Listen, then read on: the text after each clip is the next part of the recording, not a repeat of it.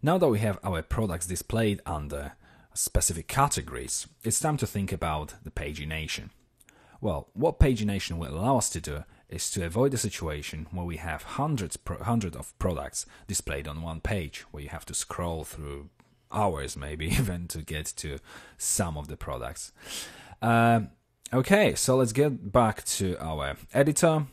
Uh, catalog PHP is going to be the page to which we will apply our pagination.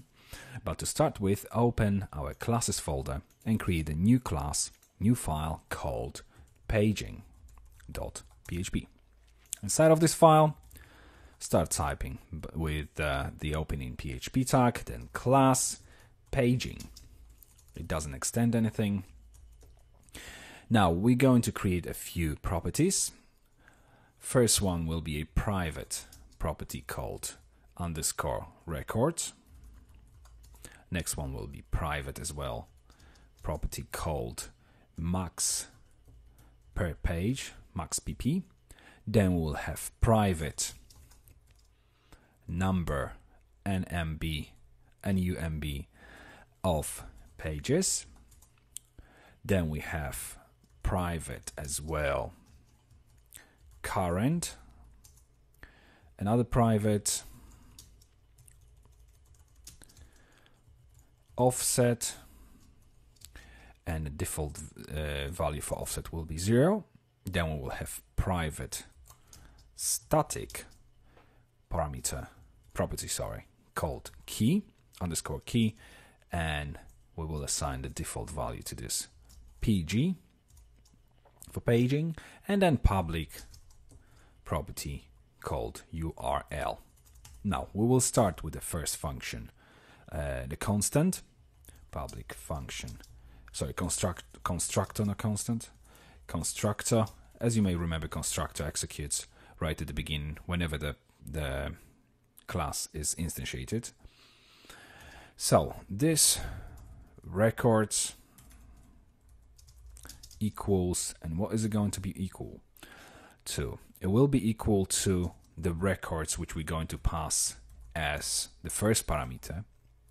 And then we also gonna pass another parameter saying how many how many records per page we want uh, to be displayed. So if we copy this rows parameter and assign this to the records then this number of pages equals count this records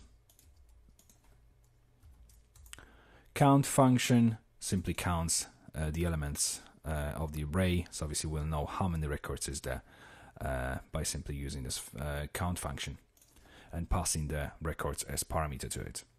Then this maximum per page equals max.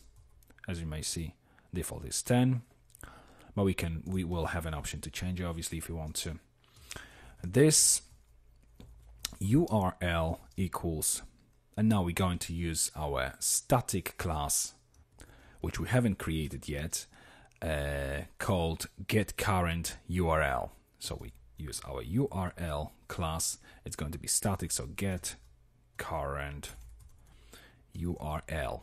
And we will pass the key of self underscore key, our static parameter which will be which will have uh, assigned value of pg to it. Now we're going to create the variable called current to store the current uh, page. So it's going to be URL. We're going to get the parameter uh, pg from it. So get param and obviously self and our underscore key.